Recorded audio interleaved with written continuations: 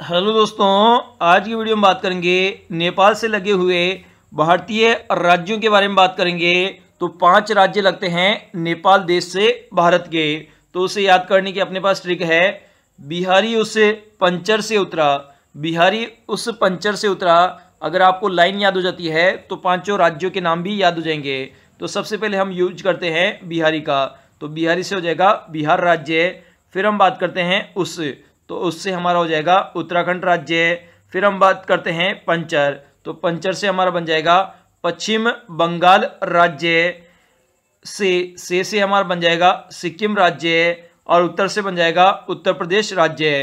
तो इस प्रकार से बिहार, उत्तराखंड, पश्चिम बंगाल, सिक्किम और उत्तर प्रदेश ये पाँच राज्य है जो कि नेपाल देश से लगे हुए हैं भारत के और इसको हमने याद किया।